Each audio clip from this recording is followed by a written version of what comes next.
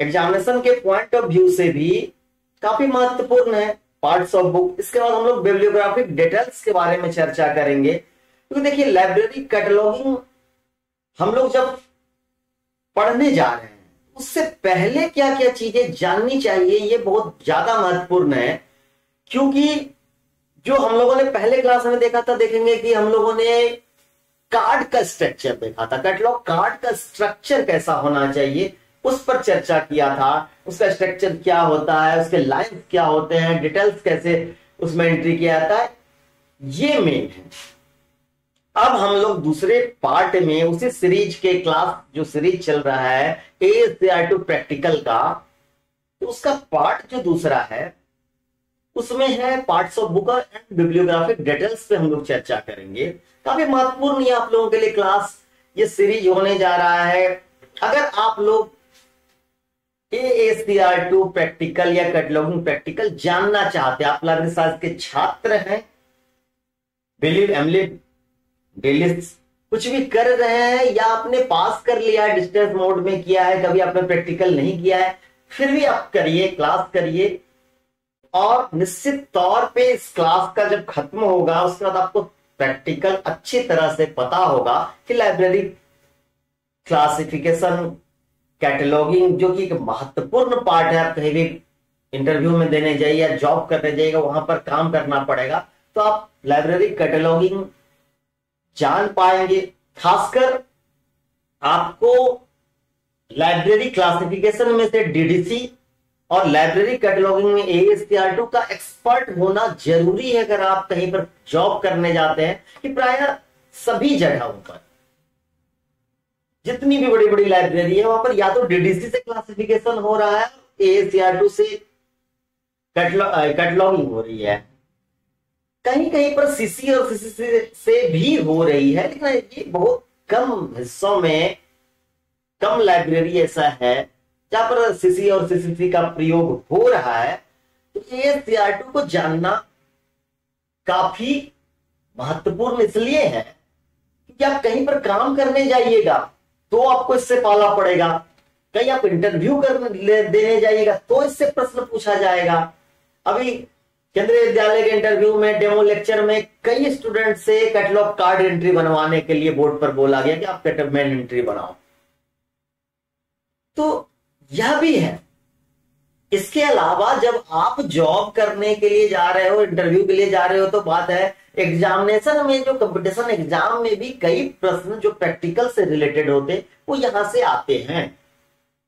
तो इसको पढ़ना है और काफ़ी हम डीप से, एक सिलसिलेवार ढंग से, काफ़ी बेसिक लेवल से कैटलॉगिंग आप लोगों को समझा रहे हैं।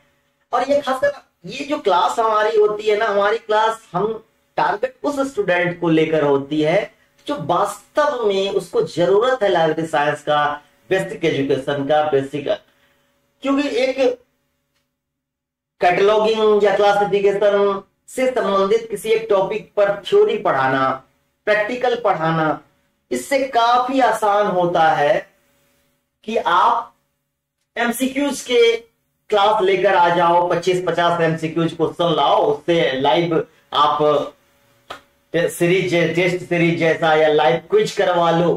तो इसमें क्या है, ये अधिकांश लोगों को पसंद आता है।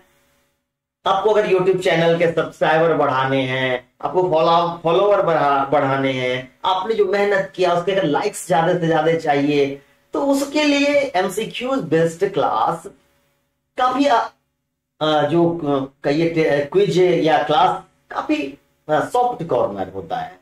मगर प्रैक्टिकल पढ़ाना, इस तरह से थ्योरी पढ़ाना, ये सिर्फ़ उसी स्टूडेंट को समझ में आता है जो क्वालिटी एजुकेशन चाहिए होता है, जिसको क्वालिटी क्लास चाहिए होता है क्वालिटी कंटेंट चाहिए होता है। तो मेरा टारगेट सिर्फ़ वहाँ पर है कि एक छात्र जिसने अभी चाहे तो एडमिशन लिया हो, चाहे आपने कर लिया हो कोर्स प्रैक्टिकल आपको नहीं पता है तो वो एक लाइब्रेरी कैटलॉगिंग जो है टू से उसको समझ पाए और इसलिए बेसिक लेवल से मैं अंत तक यहाँ पर ले जाना चाहूँगा इस सीरीज़ को। तो पहले आते हैं पार्ट्स ऑफ़ बुक हाँ एक बुक लेते हैं, हमारे पास देखिए, हमारे हाथ में है एस आर रंगनाथन की colon classification six revised edition six revised edition तो पार्ट ऑफ़ बुक की अगर बात करें तो पहले तो आप देखिए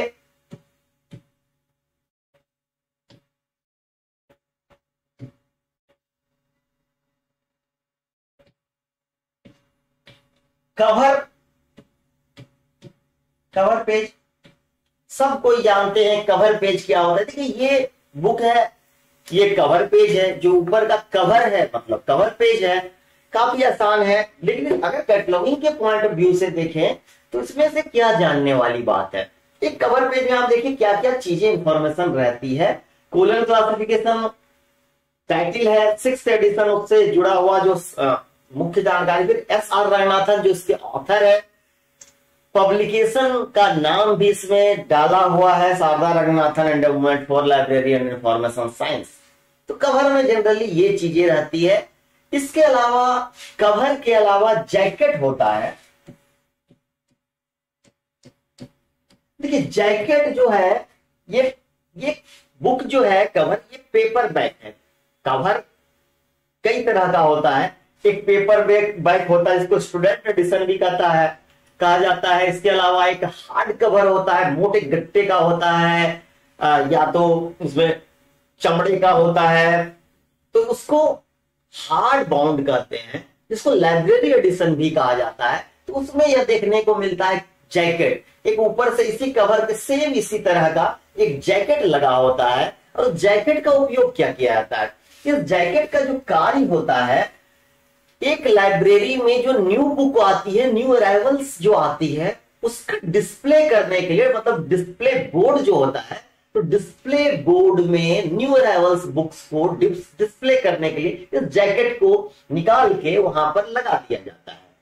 तो यह भी क्वेश्चन एग्ज़ाम में पूछा जा सकता है कि जैकेट का, उस बुक जैकेट का किसमें प्रयोग होता है। तो न्यू अराइवल्स या न्यू अराइवल्स डिस्प्ले बोर्ड जो लाइब्रेरी के बाहर लगे होते हैं, वहाँ पर लगाने के लिए कब कार्य किया था? ये दोनों चीज़ मुख्य रूप से कवर पेज की बात करें तो यह कैटलॉगिंग के दृष्टिकोण से बहुत अधिक उपयोगी नहीं होता है। अगर टाइटल पेज दिया हो, हम जो बोल रहे हैं उसको समझिएगा।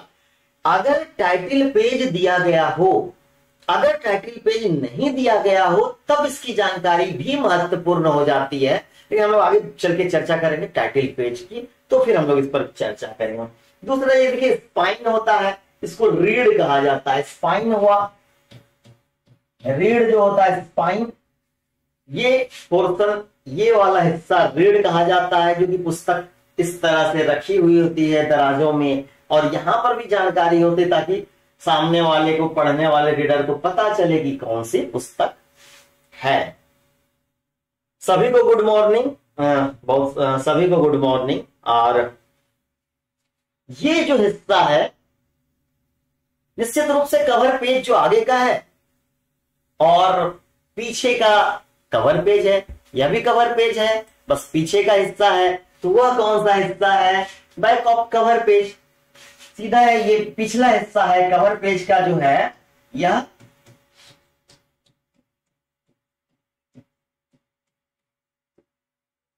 तो ये तो एक हिस्सा हमने चर्चा किया कवर पेज का।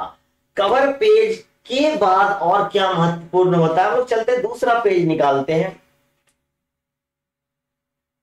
ये देखिए, पेज जो है, इसमें काफ़ी कम इंफॉर्मेशन एक सिर्फ़ और सिर्फ़ टाइटल और सीरीज़ सीरीज़ की चर्चा की गई है।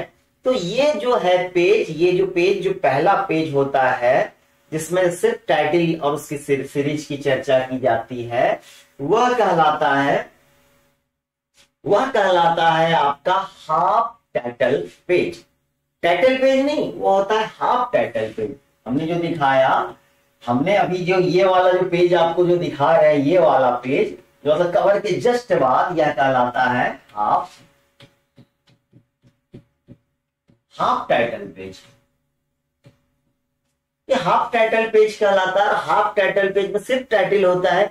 इसीलिए एक कैटलॉगर के लिए जब आप कैटलॉगिंग करने जा रहे हैं तो आपके लिए यह पेज भी अनुपयोगी साबित होता है। उसके लिए कोई महत्वपूर्ण नहीं रखता। लेकिन एग्ज़ाम के दृष्टिकोण से अगर पूछा जाए हाफ़ टाइटल पेज क्या है तो आप समझिए ये हाफ़ इसके बाद एक आता है ये पेज जिसमें कि आपको क्लास आपका टाइटल ऑथर पब्लिशर और ईयर प्लेस मुख्य रूप से ये सारी इंफॉर्मेशन ऊपर में आपको देखिए टाइटल मिलेगा, नीचे ऑथर का नाम मिलेगा, फिर आपका पब्लिकेशन का नाम मिलेगा, फिर प्लेस और ईयर ये चीज़ें होती है टाइटल पेज में। तो टाइटल पेज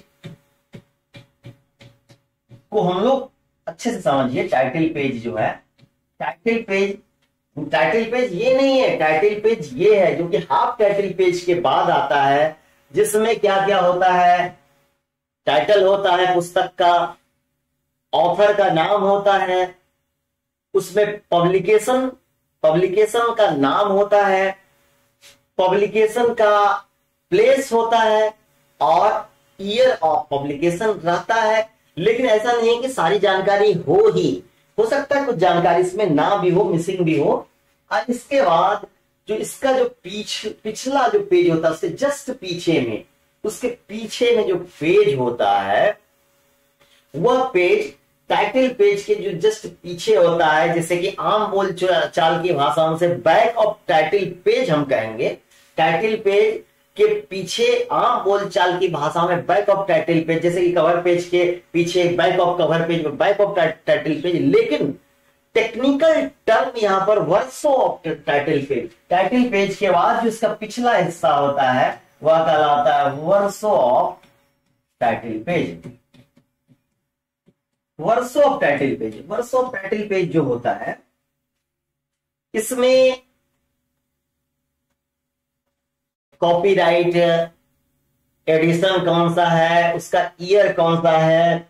और इसके बाद आईएसबीएन मूल्य और पब्लिशर का एड्रेस जैसी जानकारी इसमें प्रदान की जाती है तो यह जो दो दो जो पेज है टाइटल ऑफ़ टाइटल पेज और वर्सो ऑफ़ टाइटल पेज यह जो पेज है टाइटल पेज और वर्सो ऑफ़ टाइटल पेज मुख्य रूप से कैटलॉगर के लिए यही दो पेज जो है महत्वपूर्ण होता है यही से जानकारी उपलब्ध करके वो कैटलॉग कैटलॉगिंग कार्य करता है कैटलॉग का निर्माण करता है।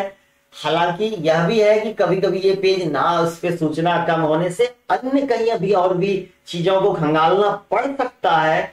कभी कभी कवर पेज से आप जानकारी ले सकते हैं, कहीं से ले सकते हैं, लेकिन यह दो पेज ही है जो कि महत्वपूर्ण है कैटलॉगिंग के लिए और यह जो है, यह जो पेज है, दो पेज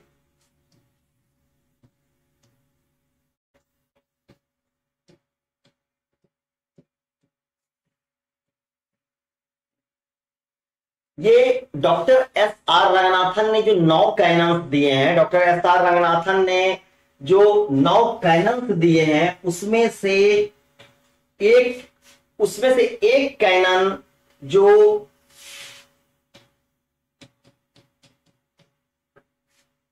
कैनन्स ऑफ़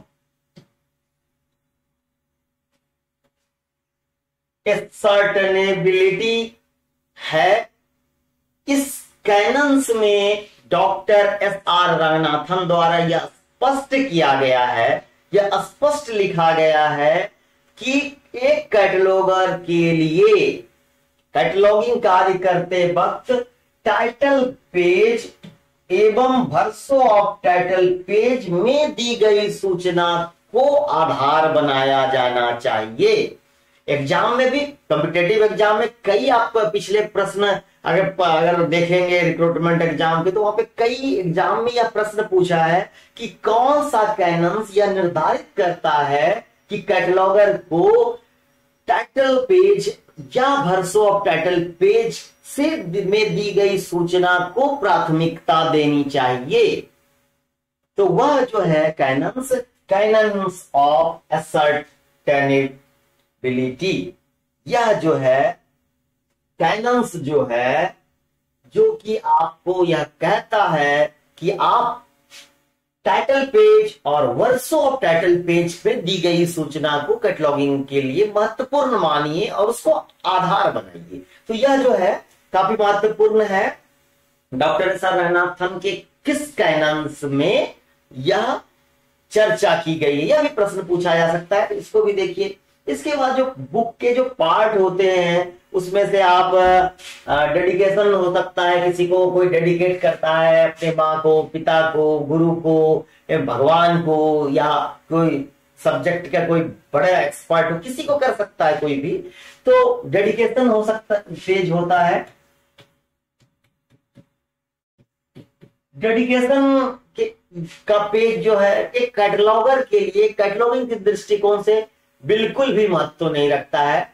उसका कोई महत्व ही नहीं है डेडिकेशन वाले पेज का। अगर आप कैटलॉगिंग के दृष्टिकोण से देखें तो इसके बाद आपका कुछ और भी चीज़ होता है, जैसे कि फॉरवर्ड जो फॉरवर्ड होता है, वह क्या होता? है प्रीफेस ये दोनों में से थोड़ा सा अंतर हम लोग ये समझते हैं कि फॉरवर्ड क्या होता है। तो फॉरवर्ड जो होता है फॉरवर्ड जो होता है, यह किसी विषय के विशेषज्ञ द्वारा लिखा जाता है, जो कि लेखक के अलावा होता है।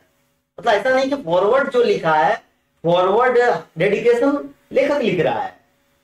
लेकिन फॉरवर्ड जो है फॉरवर्ड हमेशा लेखक नहीं लिखता है, बल्कि ऐसा व्यक्ति जो कि बड़ा व्यक्ति हो, उस लेखक से बड़ा हो, जिसका नाम बड़ा हो, उसका कद बड़ा हो, या उस सब्जेक्ट का एक्सपर्ट हो, जो समझिए तो वो फॉरवर्ड लिखता है मतलब ये लेखक के अलावा होता है, और इसके बाद लेखक के अलावा, जो फॉरवर्ड जो होता है, इसके अलावा प्रिफेस होता है।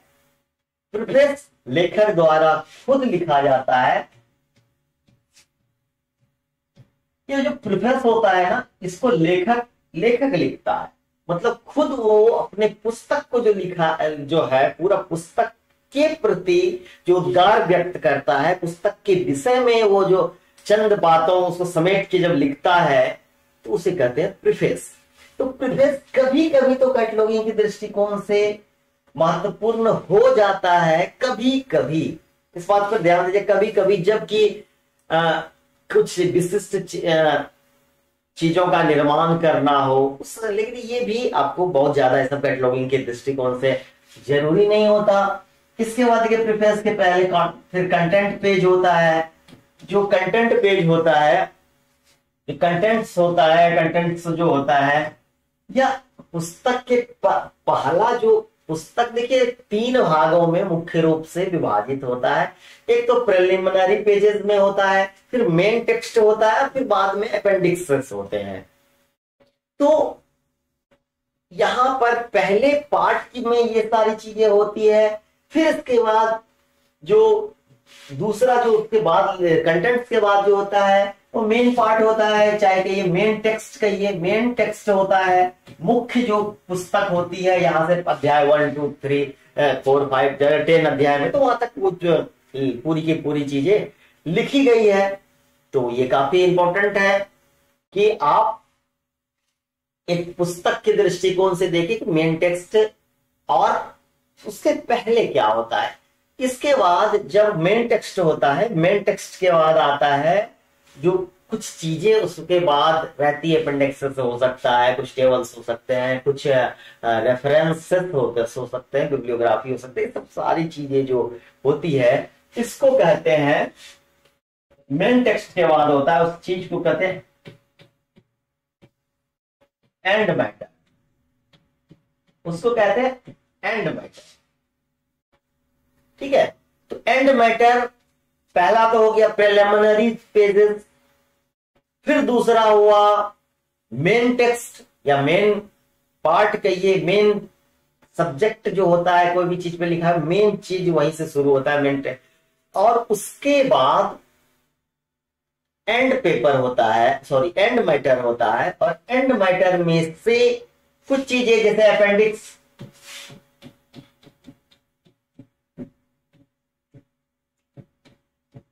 ये जो मेन जो टेक्स्ट के बाद जो होता है एंड मैटर उसमें अपेंडिक्स भी होता है इंडेक्स भी कभी कभी हो इंडेक्स होता है। ज़रूरी नहीं कि सब कुछ हो ही इंडेक्स हो सकता है।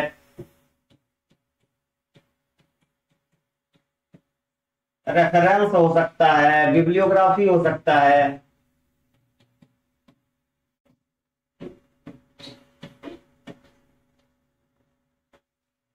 तो एंड मैटर में क्या क्या होता है? यह भी कभी कभी पूछा जाता है। मेन टेक्स्ट के बाद जो पार्ट होता है, उसको क्या कहा जाता है? पुस्तक का एंड मैटर कहा जाता है। End matter appendix index reference bibliography जो है, इसको भी आप लोग यह समझिए कि अपेंडिक्स जो है, कुछ महत्वपूर्ण जानकारी होता है। इंडेक्स भी उसका, जो आप, उसमें मेन टेक्स्ट का ही कि कैसे आप वहाँ तक पहुँचेंगे, उस सब्जेक्ट तक ये सारी चीज़ें होती है और रेफरेंस बिब्लियोग्राफी भी होता है कि कहाँ से वो मैटर लिखी गई है, कहाँ से सोर्स था है और उससे संबंधित बिब्लियोग्राफी भी प्रदान की जाती है।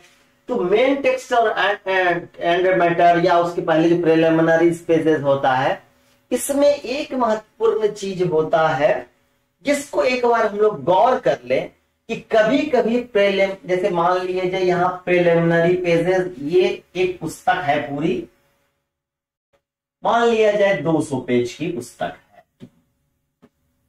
इसमें से पहला पार्ट प्रिलिमिनरी पेजेस है, दूसरा मेन टेक्स्ट हो गया, और तीसरा एंड मैटर है। इस तरह से आप मान के चलिए। तो कभी कभी क्या होता है कि ये जो शुरुआत में जो पेज यहाँ से होता है, इसको या लेखक पर निर्भर करता है। मान लीजिए यहाँ पर पंद्रह पेज का है, या अगर अगर 200 में से 25 पेज यह है, और फिर डेढ़ सौ पेज मेन टेक्स्ट है और 25 पेज है ये। इस स्थिति में कभी कभी यहाँ पर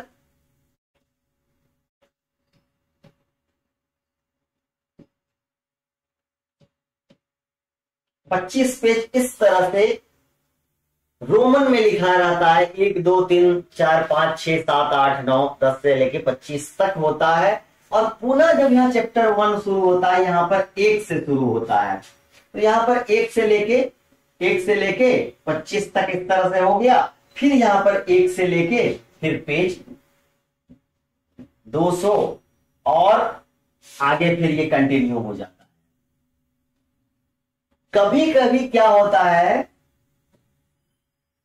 पेज यहीं से काउंट होता है एक से और मेन टेक्स्ट में यह 26 से शुरू हो जाता है। तो यहाँ पर 200 इस तरह से पेजेज चलता है, डेढ़ सौ से लेकर इस तरह से फिर यहाँ से कंटिन्यू ये होते जाता है। समझ गए कि दो तरह से होता है, एक तो यहीं से प्रिलिमिनरी पेज के शुरू से ही पेज को एक से शुरू कर लिया जाता है, अंत तक, और कभी कभी शुरुआत जो है, वह रोमन से एक से लेके पच्चीस, बीस, जो भी हो, यहाँ तक जाता है। फिर एक जो है इंडो अरबिक से फिर से शुरू कर लिया जाता है एक, दो, तीन से मेन टेक्स्ट से। तो यह दो चीज़ होता है, इसमें ध्यान कैटलॉगिंग में ये रखा जाता है कि कैटलॉगिंग में अगर सीधा जब हम लोग फ़िज़िकल डिस्क्रिप्शन वाले में जाएँगे, अगर 225 200 पेज है तो सीधा हम लोग 200 पेज लिखते हैं। अगर प्रिलिमिनरी पेजेस है 25 उस तरह से तो हम लोग उसको इस तरह करके, फिर इस तरह से लिखा जाता है। प्रिलिमिनरी पेजेस अगर पहले है तो उसको पहले लिख लिया जाता है। तो यहाँ तक किन्हीं को दिक्कत अगर है तो बताइए। यहाँ पर समझने में किसी तरह का दिक्कत है तो बताइए।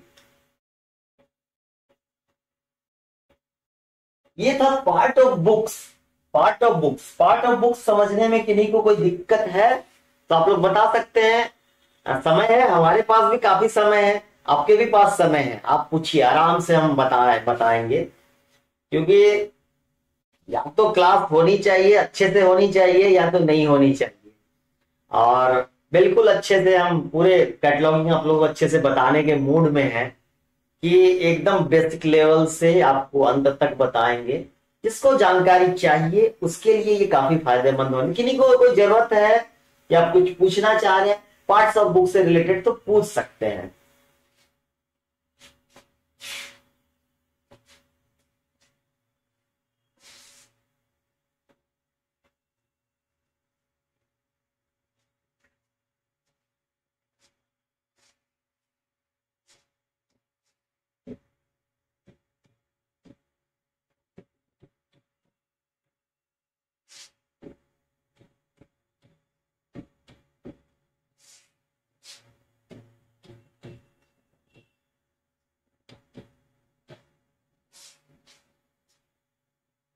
अगर आप लोगों को कुछ नहीं पूछना है, चलिए इससे आगे हम लोग, देखिए बिब्लियोग्राफिक डिटेल्स की हम लोग बात करते हैं। बिब्लियोग्राफिक डिटेल्स किस तरह से होता है?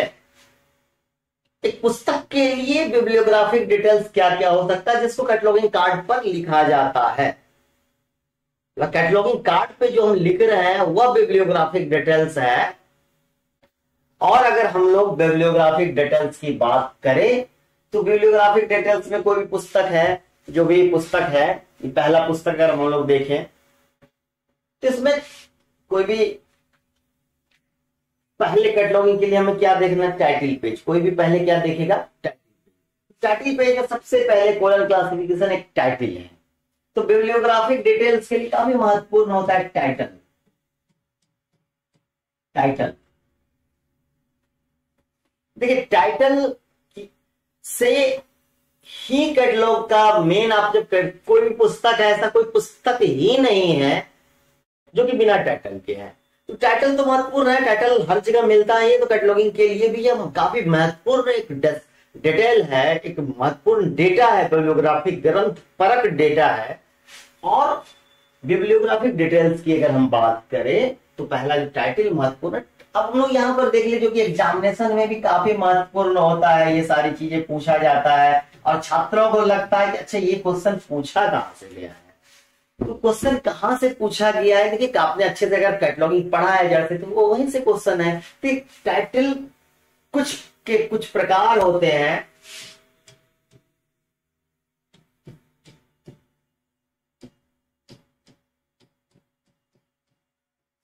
एक तो होता है टेल टाइटल इसको आप लोग लिख लीजिए, यह क्या होता है? वैसा शीर्षक वैसा शीर्षक जो, वैसा शीर्षक जो पुस्तक जो लिखी गई है, उस पुस्तक जो जो एक पुस्तक कुछ भी लिखी जा रही है तो किसी ना किसी विषय पर लिखी जा रही है। तो ऐसा टाइटल ऐसा शीर्षक जो किसी पुस्तक का विषय बता रहा है, बताने में सक्षम है। वह टेल्टल टाइटल कहलाता है। तो अगर एग्ज़ाम में पूछा जाए कि टेल्टल टाइटल क्या है तो वैसा शीर्षक जो कि, वैसा शीर्षक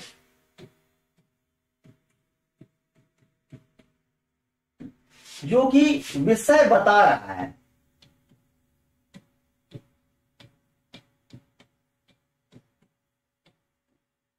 और इसके बाद दूसरा जो टाइटल होता है, दूसरा टाइटल एक तो टेंटेड टाइटल हुआ। ऐसा टाइटल जो कि जो कि किसी पुस्तक के विषय को ऐसा शीर्षक जो किसी पुस्तक के विषय को बताता है।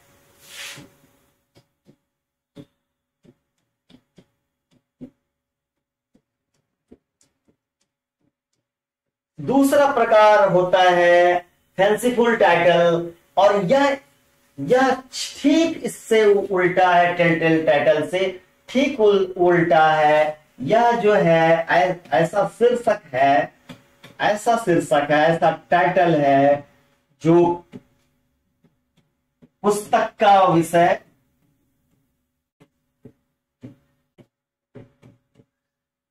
नहीं बताता है। बहुत सिंपल है एग्ज़ाम में आप लोग अगर क्वेश्चन प्रीवियस ईयर के आप लोगों ने देखा होगा तो उसमें से ये क्वेश्चन इस तरह के क्वेश्चन आपको मिला होगा कि कौन सा ये फैंसीफुल टाइटल क्या है, इस तरह के क्वेश्चन बहुत ही आम क्वेश्चन है। तो यह विषय नहीं बताता है। एक तो ये चीज़ हो गया।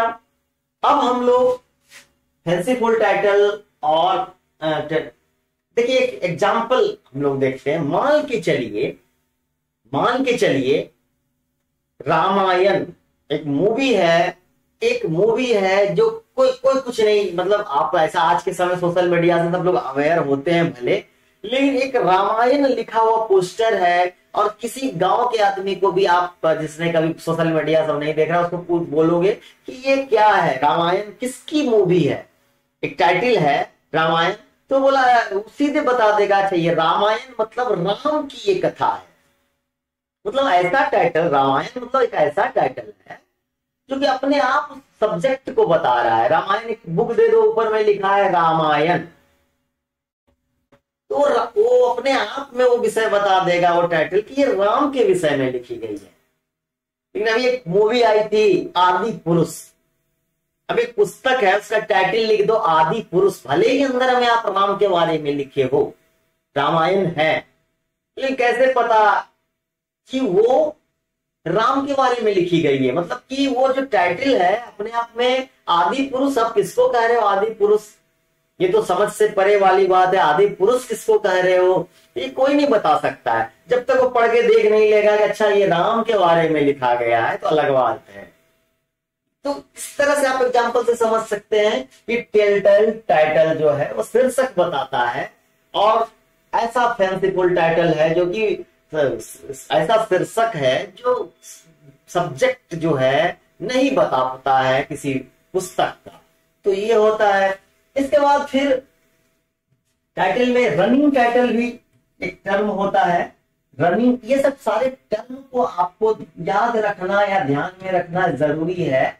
चाहे कैटलॉगिंग के दृष्टिकोण से, चाहे लाइब्रेरी साइंस की आप अपने नॉलेज को इनरिच करना चाहें, या तो आप कंपटीशन के पॉइंट ऑफ़ व्यू से देख लीजिए, किसी में भी ज़रूरी है तो रनिंग टाइटल रनिंग टाइटल क्या होता है? रनिंग टाइटल जो होता है, एक पुस्तक जो है, पुस्तक में आप जब गौर से देखिएगा कोई पुस्तक में तो सभी पुस्तक में नहीं होता, लेकिन अधिकांश पुस्तक में होता है कि वैसा टाइटल जो प्रत्येक पेज के हेडर या फुटर में दिया हो, वैसा टाइटल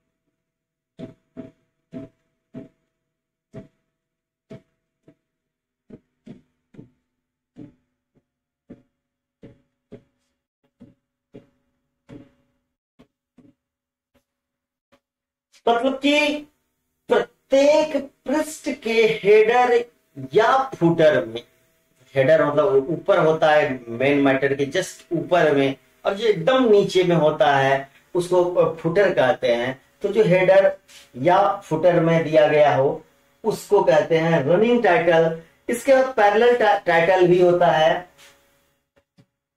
तो ये सारे टाइटल के एक जो स्वरूप होते हैं वे होते हैं जिसका आप प्रयोग अपने कैटलॉगिंग टर्म में कह लीजिए, या तो एग्ज़ाम में हर जगह का प्रयोग देखा जाता है।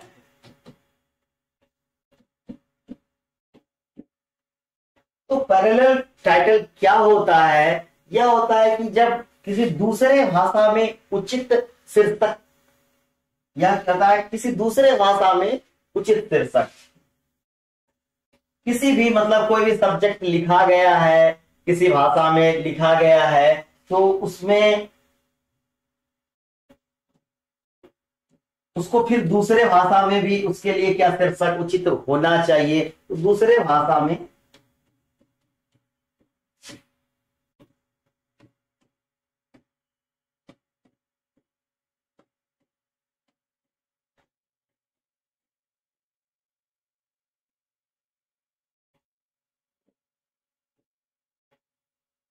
यह काफ़ी महत्वपूर्ण है टाइटल के संबंध में। टाइटल के बाद आप लोग उम्मीद है कि टाइटल तो समझ गए होंगे कि बिलियोग्राफिक जो डेटा होता है टाइटल के बाद जो महत्वपूर्ण दूसरा डेटा होता है, उस डेटा को कहते हैं ऑथर एक पुस्तक में जो उसकी रचना के लिए सबसे पहला जो रिस्पॉन्सिबल होता है, जो पहला जिम्मेवार होता है वह होता है लेखक और उसके बाद पुस्तक में सेकेंड रिस्पॉन्सिबिलिटी भी होती है और जो लेखक होता है, ज़रूरी नहीं कि हर पुस्तक में लेखक लेकिन जिस पुस्तक में लेखक है तो वही पहला रिस्पॉन्सिबल पर्सन है उस पुस्तक के निर्माण के लिए।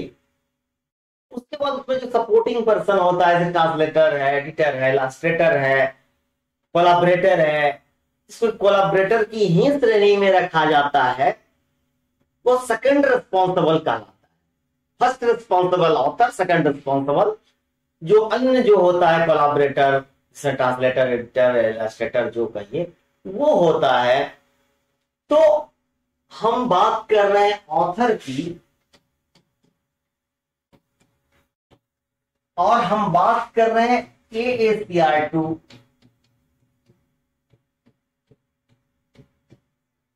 two की कैटलॉगिंग प्रैक्टिस। की तो यह भी महत्वपूर्ण है कि ए सी आर टू के रूल्स के अकॉर्डिंग किसे ऑथर माना जाता है? किसको आप ऑथर मानिएगा?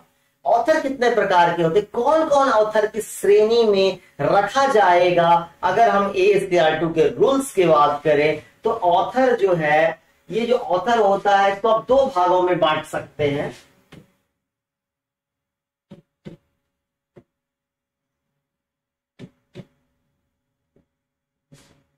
दो भागों में ऑथर होता है।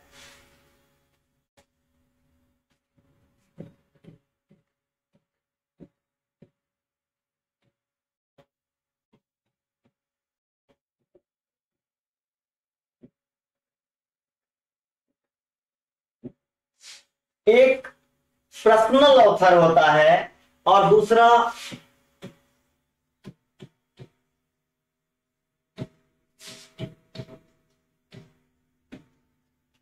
कॉरपोरेट ऑथर होता है पर्सनल ऑथर होता है, और दूसरा कॉरपोरेट ऑथर होता है। तो पर्सनल ऑथर और कॉरपोरेट ऑथर जो होता है, ये पर्सनल और कॉरपोरेट ऑथर दोनों ए एस टू के रूल्स के अकॉर्डिंग ऑथर की श्रेणी में आता है, और जो पर्सनल ऑथर होता है और कॉरपोरेट ऑथर होता है।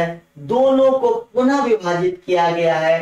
पर्सनल ऑथर को हम लोग अगर उसके विभाजन की बात करें पर्सनल ऑथर में पहला तो है single personal author single personal author मतलब कि कोई एक लेखक एक पुस्तक के लिए कोई एक ही व्यक्ति रचना के लिए जिम्मेवार है जो लेखक एक है तो single personal author single personal author उसके बाद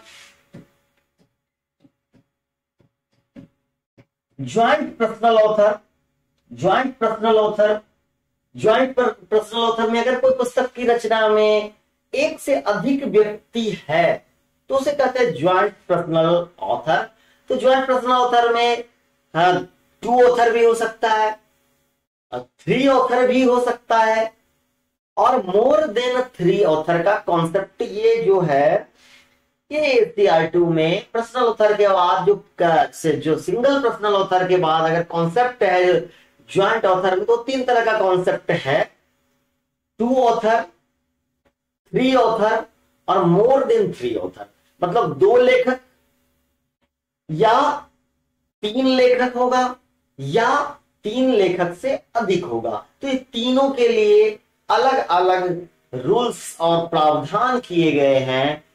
सिंगल और पर्सनल ऑथर के लिए, अगर एक लेखक हो पुस्तक के लिए, अगर दो लेखक हो, अगर तीन लेखक हो, और अगर तीन से अधिक लेखक हो, सभी का अलग अलग प्रावधान है ए सी आर टू के अकॉर्डिंग तो उसकी चर्चा हम लोग बाद में करेंगे। तो ऑथर की हम लोग चर्चा कर रहे थे सिंगल ऑथर होता है। इसके बाद एक ज्वाइंट ज्वाइंट ऑथर होता है।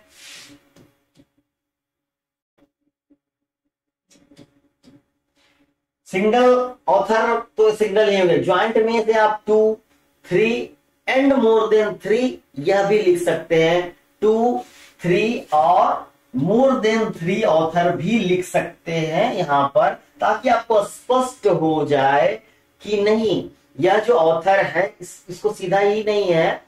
यहाँ पर और भी चीज़ें यहाँ पर होती है और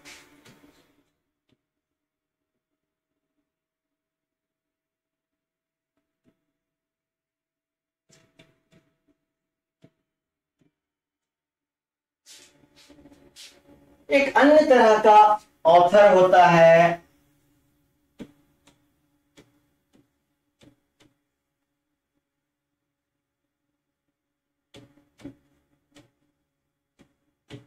इसमें नाम अनामक है मतलब ऐसा ऑथर ऐसा बुक जिसका नाम ही पता नहीं है, ज्ञात नहीं है।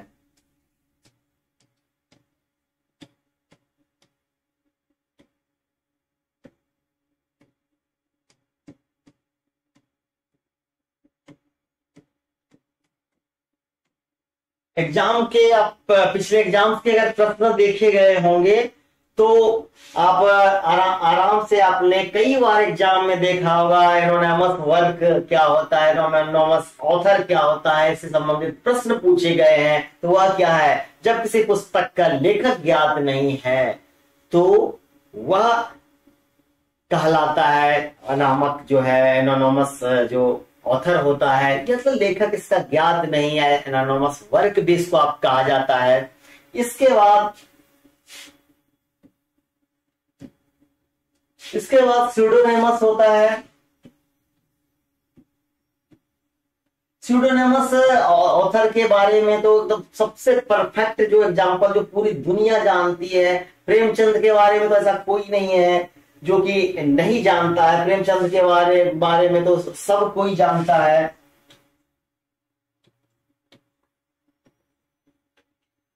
स्यूडोनिम जो होता है स्यूडोनोमस ऑथर जो होता है, इसको आप छद्म छद्म नाम मतलब कि एक ऐसा ऑथर जिसने अपनी कृति की रचना अपने ओरिजिनल नाम से नहीं करके कुछ ऐसा नाम रख लिया जो उसका ओरिजिनल नाम है ही नहीं। कई फ़िल्म स्टार उसका कुछ और नाम था, उसने अपना नाम कुछ और रखा। कई ऐसे लेखक थे, चाहे उस कारण जो रहा हो उसको अपना नाम पसंद नहीं हो अच्छा नाम रखना चाहो कॉमर्शियल नाम रखना चाहो, या सरकार या तत्कालिक जो माहौल होगा, उसके भय से अपने को छुपा के रखना चाहता, कारण जो भी हो, अगर उसने छद्म नाम धारण किया, छद्म नामधारी सीडोनेम का अर्थ होता है छद्म नाम मतलब एक झूठा नाम एक ऐसा नाम जो उसका ओरिजिनल नहीं है, परंतु उस पुस्तक के लिए उन्होंने लेखक में पर्सनल ऑथर के और सिंगल पर्सनल ऑथर और ज्वाइंट पर्सनल ऑथर के बाद एनोनमस ऑथर और ऑथर को भी एक टाइप्स ऑफ़ ऑथर में माना जाता है। अगर हम लोग ए टू की बात करें, इसके बाद ए टू में ऑथर के कैटेगरी में कोलाब्रेटर। देखो, कोलाबरेटर का हमने पहले ही बात किया था, कोलाबरेटर कोलाबरेटर जो होता है, कोई एक व्यक्ति नहीं होता है। कोलाबरेटर में कोलाबरेट करने वाले, कोलाबरेट करने वाले चाहे जो भी हो, कोलाबरेट करने वाले जो भी व्यक्ति हो, चाहे वह इसमें आप आप यहाँ पर लिख सकते हैं सेकंड रिस्पॉन्स हो। यहाँ पर देखिए, ये जो पर्सनल ऑथर जो भी यहाँ से यहाँ तक हमने देखा ये फ़र्स्ट रिस्पॉन्सिबल होते हैं फ़र्स्ट रिस्पॉन्सिबिलिटी इसकी होती है। फ़र्स्ट फ़र्स्ट रिस्पॉन्सिबल होते हैं किसी पुस्तक की रचना के लिए। सेकंड रिस्पॉन्सिबिलिटी की अगर बात किया जाए सेकंड रिस्पॉन्सिबिलिटी की अगर बात किया जाए तो कोलाबरेटर होते हैं। इसमें आप एडिटर हो सकता है, इसमें ट्रांसलेटर हो सकता है, इसमें इलास्ट्रेटर हो सकता है। ऐसे ऐसे जो मुख्य रूप से लेखक ना होके उस पुस्तक के सहयोगी हो या कोलाबरेट करने में किसी ना किसी तरह से उस पुस्तक के निर्माण में उस व्यक्ति का भी योगदान है, यानी सेकंड रिस्पॉन्सिबल पर्सन वो है। उसकी बात की जाती है तो वह भी यहाँ पर ऑथर की कैटेगरी में रखा गया है, जहाँ तक बात हो एसीआरटी पे रूल्स की। अगर हम लोग कॉर्पोरेट ऑथर की बात करें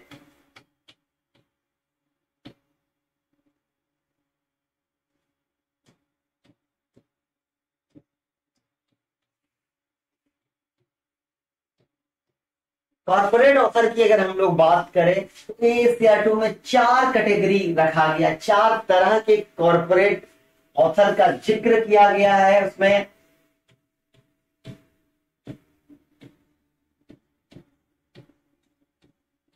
गवर्नमेंट,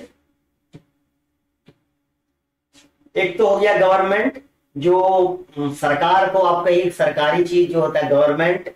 गवर्नमेंट के और institutions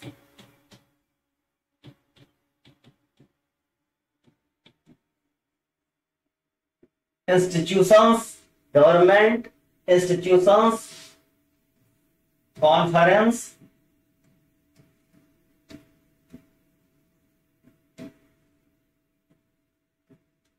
conference इसके बाद कॉन्फ्रेंस के बाद मिसलेनियस कैटेगरी भी एक रखा गया। मुख्य रूप से तीन ये होता है और उसका मिसलेनियस कैटेगरी भी केस टू में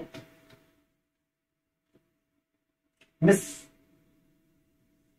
मिसलेनियस कैटेगरी में मतलब अन्य कई चीज़ें इसमें आ जाती है, जिसमें आप मिसलेनियस कैटेगरी में डाल सकते हैं। इसकी चर्चा हम लोग बाद में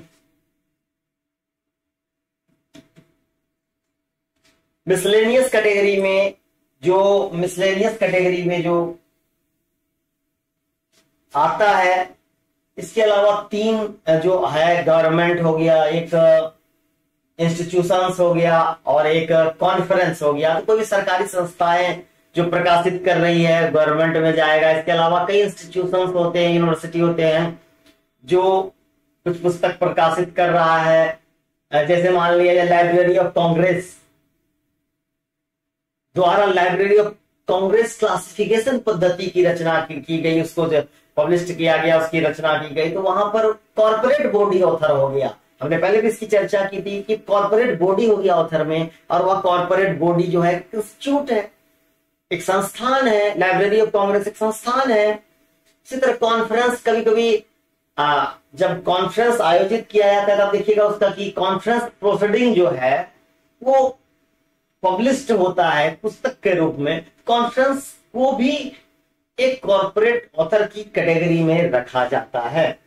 इसके बाद देखिए, हम लोग जब एक पुस्तक को देखेंगे तो पहले तो टाइटल फिर ऑथर ये दो डेटा होता है। उसके बाद सबसे महत्वपूर्ण डेटा होता है महत्वपूर्ण डेटा होता है, वो होता है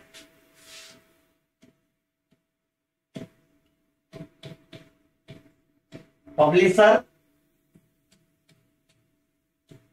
प्लेस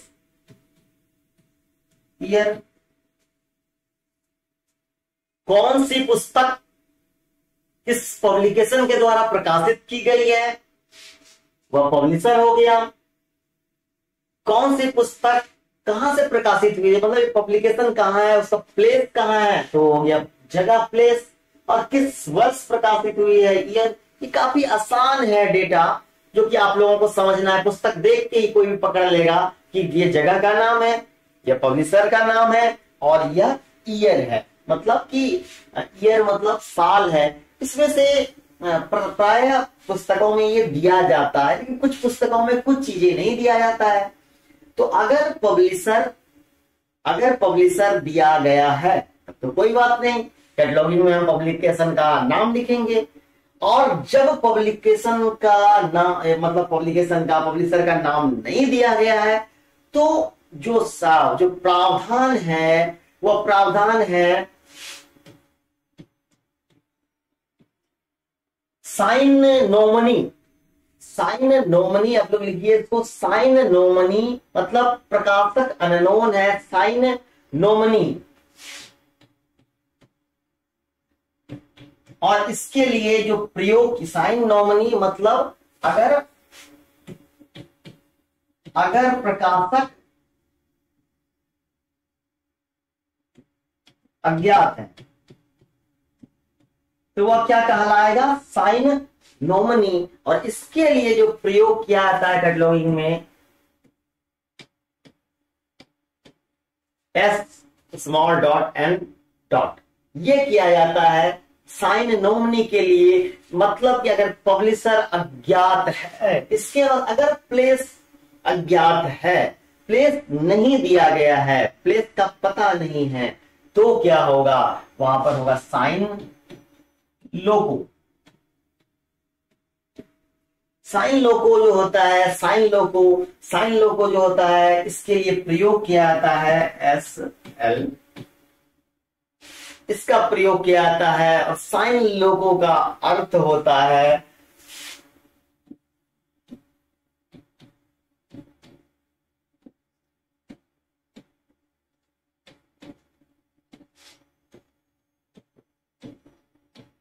प्रकाशन स्थान अज्ञात है।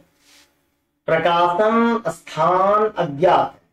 अगर प्रकाशन का स्थान नहीं पता है किसी पुस्तक का तो वो कहलाएगा साइन लोको। वह कहलाएगा साइन लोको। इसके बाद ईयर। इस वर्ष प्रकाशित हुआ है। तो ईयर अगर ईयर की बात हो तो अगर समय नहीं पता हो तो तो प्रयोग किया जाता है एन डी। कैटलॉगिंग मतलब अगर अगर वर्ष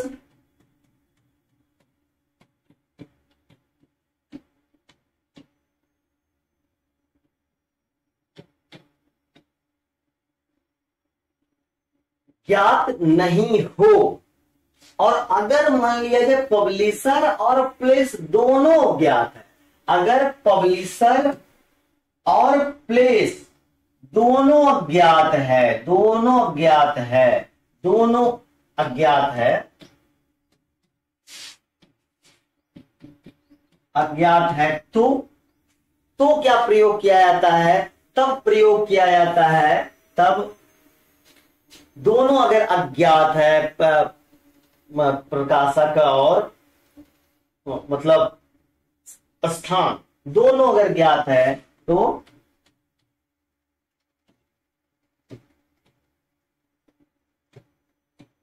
इस तरह से लिख दिया जाता है S dot L dot and S dot N dot तो यह था मुख्य बिब्लियोग्राफिक डिटेल्स जो कि पुस्तक में पाया जाता है कैटलॉगिंग के लिए काफ़ी महत्वपूर्ण होता है।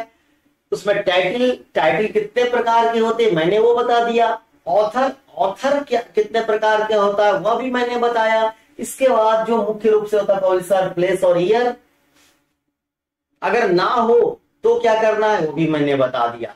तो उम्मीद है कि ये जो क्लास आपको मतलब जो बेसिक्स होने चाहिए ना बुक्स का पार्ट इससे पहले हमने आप लोगों ने, जिसने भी नहीं देखा है, इस कैटलॉगिंग का कैटलॉगिंग प्रैक्टिस का पार्ट वन देखिए, वहाँ पर आप, मैंने बुक से पहले कैटलॉग का स्ट्रक्चर का चर्चा किया था। यहाँ पर बुक का स्ट्रक्चर और बिब्लियोग्राफिक डिटेल्स की चर्चा मैंने की है।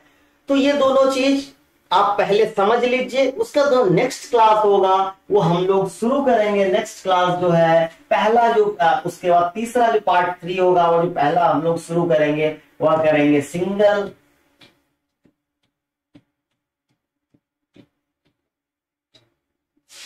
पर्सनल ऑथर से। सिंगल पर्सनल ऑथर से हम लोग शुरू करेंगे। सिंगल पर्सनल ऑथर से हम लोग कैटलॉगिंग शुरू करेंगे और हम लोग इसको जो है, जो बुक का डिटेल और जो कैटलॉग कार्ड की एंट्री है, इस दोनों को हम लोग देखेंगे। अगर इस दोनों में से आप लोगों को किसी तरह की समस्या होगी तो हम लोग फिर से चर्चा जब कैटलॉगिंग का निर्माण करेंगे, कैटलॉग कार्ड का निर्माण करेंगे मेन एंट्री का, चाहे एडेड एंट्री का तो हम लोग हम लोग वहाँ पर देखेंगे कि क्या क्या चीज़ें वहाँ पर किस किस तरह से लिखी जाती है किस किस तरह से की जाती है। तो आप लोगों में से यहाँ तक में किसी को कोई प्रॉब्लम हो तो आप लोग पूछ सकते हैं। पूछ सकते हैं किसी को कुछ प्रॉब्लम हो तो पूछ सकते हैं। किसी तरह की समस्या हो अगर इस दो क्लास में, और आप लोग जो भी आज आज पहली बार इस क्लास से जुड़ रहे हैं, अगर कोई है ऐसा जो कि आज पहली बार इस क्लास से जुड़ रहे हैं तो आप लोग पिछला क्लास भी देखिए, और उसको वहाँ से शुरू करिए, और उसके बाद फिर आप लोग सेकंड पार्ट को देखिए। तो आप लोगों के लिए काफ़ी महत्वपूर्ण रहेगा कि पहला आप लोग पार्ट देख पाए। किन्हीं को कुछ पूछना है? चलिए लगता है आप लोगों को कुछ पूछना नहीं, अच्छी बात है। और हम लोग